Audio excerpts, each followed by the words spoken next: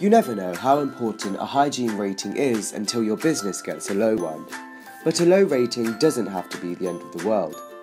To achieve the 5 star rating you deserve, call Hygo and for free, we'll walk you through what you need to improve your rating so you can focus on the more important parts of your job, the day to day. Call Hygo for your free site survey and take the first step to getting your business back on track.